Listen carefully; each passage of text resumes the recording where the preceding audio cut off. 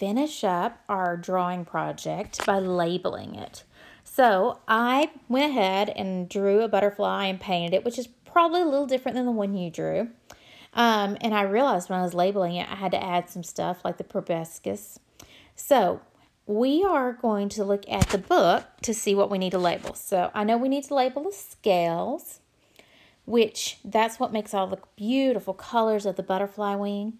So I'm going to come back over here and I'm going to label the scales and you can label it with me. So I'm going to type it. And then I'm going to draw me a little line.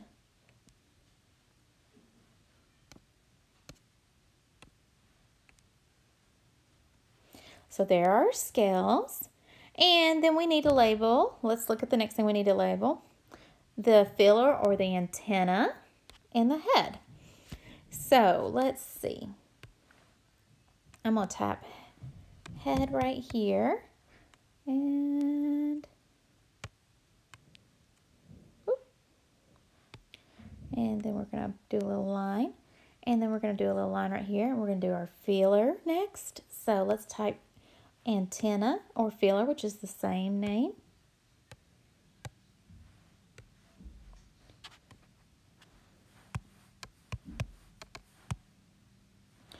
Okay, so we've got our antenna and we need to do our wings, don't we?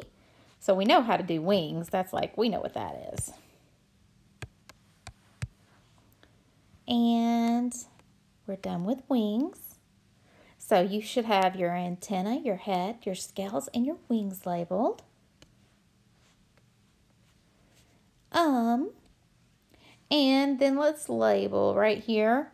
This is our, let's check, believe that's our abdomen. And then our thorax is the middle of the butterfly's body. So, so let me go back and check again. Abdomen. That way I remember how to spell it because that is a hard word. I would definitely have to check that if I was in first grade. So we have abdomen. And I'm going to make my line a little bit longer. For thorax, it's all the way up here. And it's the middle of the butterfly's body.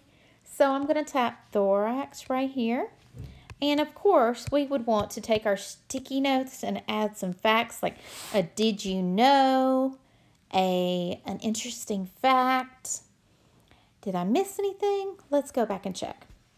We have our abdomen, our scales, our wing, our head, our thorax. And I didn't draw any legs, but we would know that if we saw a butterfly.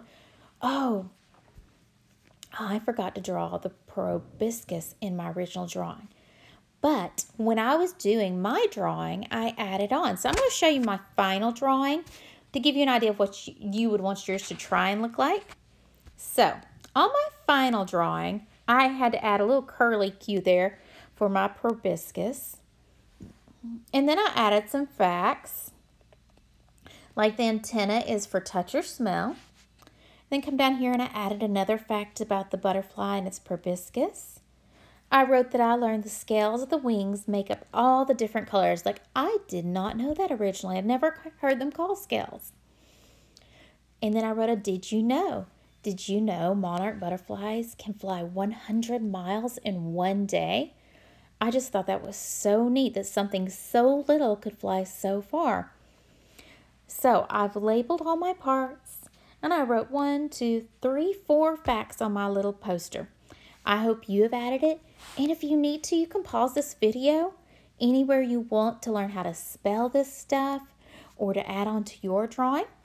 And just so you know, this is an adult's work. So I wanted to show you my son Isaac's work because he's in first grade just like you. So this is Isaac's work. And we did a sketch of his butterfly. I used tracing paper to help him.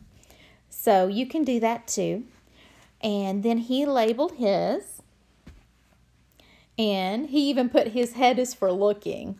I guess you do use your head for looking. So you see he labeled his parts and then he's got to put some periods at the end. So you need to go back and check for punctuation. I'm very proud of all your hard work and I can't wait to see all your beautiful posters and drawings. I hope you really enjoyed the butterflies. And I will continue posting videos of the butterflies as well, the caterpillars, as they grow into butterflies. I want you guys to go out and have lots of fun today. Be sure that you're not working so hard that you forget to go outside and play. It's beautiful. Have a great day. I love and miss all of you.